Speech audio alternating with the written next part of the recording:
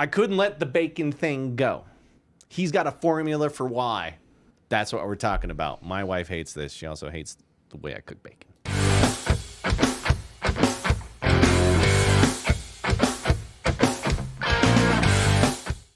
You were laying some knowledge down. I've been Go. pondering this for an inordinate amount of hours. Go ahead. Tell us all about it because I believe I in- realize believe it looks you. like I'm wearing the same shirt. I just have five of these. it's hot in here. It is kind of hot in here. It's always hot in here. it might be because you're angry. It is because we talked about bacon Okay. and how I make it the right way and she doesn't. Right, And I we- mean, my wife. Right. We talked about how bacon burnt to a crisp. It's not It's right. not right. It's not even bacon anymore. Okay. It's cardboard. But there seems to be this this correlation between your wife and my wife, which is they like. which is I'm willing to bet that your wife Mhm. believes that there is more than one way to cook a steak. God, yes, it's called um, petrification, putrefaction, or burning it. Now, my wife also believes that there are multiple ways in which a steak can be prepared. There's only one. But it seems like because my wife believes that there are multiple ways in which you can make a steak, which there's Mhm. not, Which is not. but she still asks for it that way. Were were she to get steak, which she doesn't anymore because she might She as well have better. fish. Right. Right. Might as well have sushi, which we call bait. But my wife also likes her bacon burnt to a crisp. And it seems like your wife and my wife have that in common. And so I'm wondering if there is a mathematical formula in which we can figure out through through through experiences that maybe you've had Mm-hmm. and then experiences that I've had Mm-hmm. with my wife and and you've had with your wife where they might have more things in common because they both believe that there are multiple ways in which they a steak can be prepared. So, talking about meat like that, yes. She think like a hamburger cannot have any pink whatsoever for her. But see, we're still on meat. So I think that that Yeah. that one is just going to be true. a little all the pink way is through. okay. Now my wife will not. No. She won't even touch it if, if No. I mean I'll have to put it back there until it comes Yes. back like a hockey puck. Yes, like a hockey puck. Like a hockey puck. yes. But see, the interesting thing is your wife Mm-hmm. Mm-hmm. likes football, She does. and my wife likes football. Wait a minute.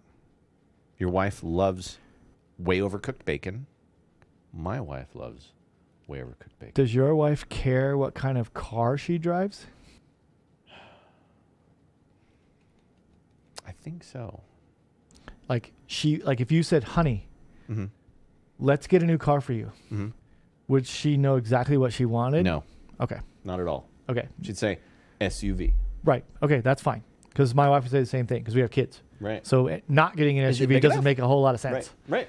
Right. Okay. Holy crap! You're onto something here. Keep so going. if you if I asked you that question, Yes. Josh, here here is a sum of money that is more Yeah. than you will need to buy Mhm. the car because we're not talking like some exotic car. Oh yeah, yeah, yeah. right? Here's more than enough money you would need so Mhm. you can pay cash on the spot for this for the car that you wanted. Would you know exactly what you would buy? Absolutely, Me too. without a doubt. and it, I would, I, there would be two that I would be fighting over. It would either be a Jeep Wrangler Rubicon, because yeah, yeah, or a Toyota Tacoma TRD Pro Off Road 4x4. That's okay. Great car. I know exactly what I'd, I'd want. It'd be a hard choice, but I would probably go that Rubicon all day. Uh huh. Like that would that. actually be my second choice. It'd be my it, it would be my first choice, although it's not. Because I guess if I said I had this lump sum of money, Mhm. right? I have this lump sum of money, but I still have to think in practical terms because I have two little ones. Right, family. But it it it hands down, hands down, Mm-hmm. mid-engine Corvette. Ooh. See, that is the most car- yeah, yeah. beautiful car that is exists right now. And those new ones they just put out are like And they finally got to the point where now you can order them as as Corvettes are meant to be, which is convertible. breathe it in. Does your wife like gardening? Oh God, yes. Hmm. She lives for There's it. another thing that we have As in though common. it is like, and she assumes that I love it too.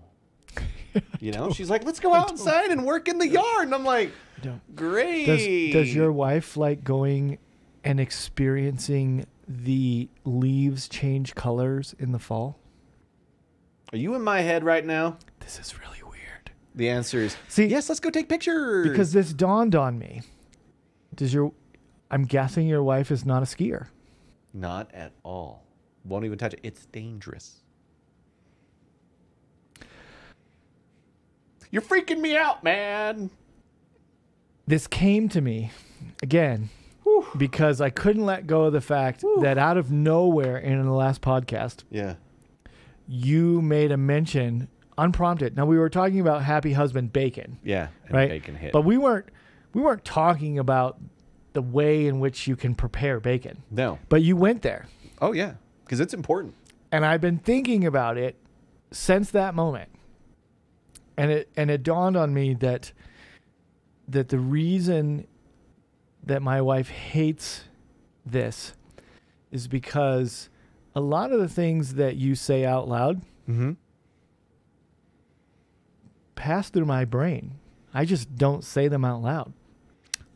I clearly don't have a filter. We've established that. Which means that it's probable mm-hmm. that you and I have very similar world views, Hmm.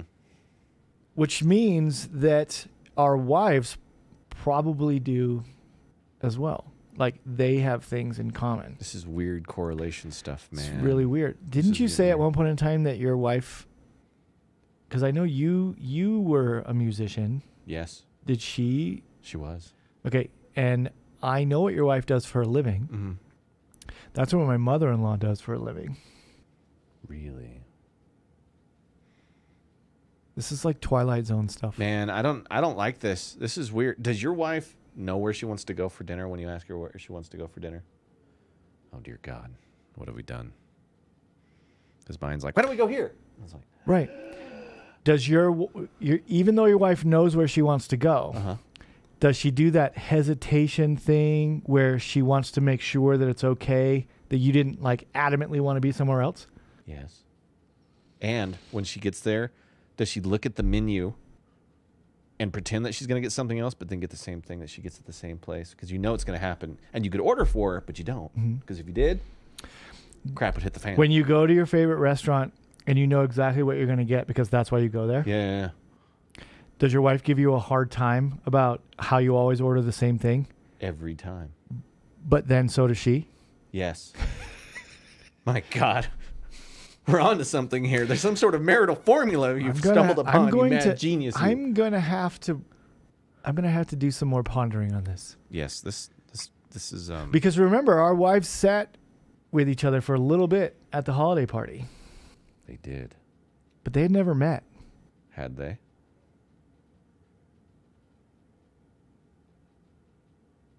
I can't do this anymore. You owe me an explanation. You know who you are, not you. You. I'm a little freaked out. I got to admit. I knew it was gonna happen eventually. Do you- does your wife hate video games? Yeah, She's never. Play, I don't think she's ever played a video game in her life. can't do that.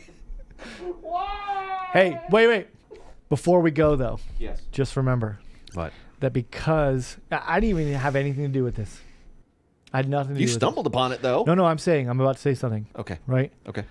we know that our wives have something very very important that's not that they don't have in common my lovely wife loves star wars and you done messed it up for years If you like what you've seen here, go ahead and subscribe to the channel because every time we point something out that I ruin in my life, we want you to be informed. Ding, ding, ding, ding, ding. Ring the bell, check it out. Watch me throw my entire marriage out the window because that's apparently what I've been doing for uh, an eternity now. That's how long we've been married.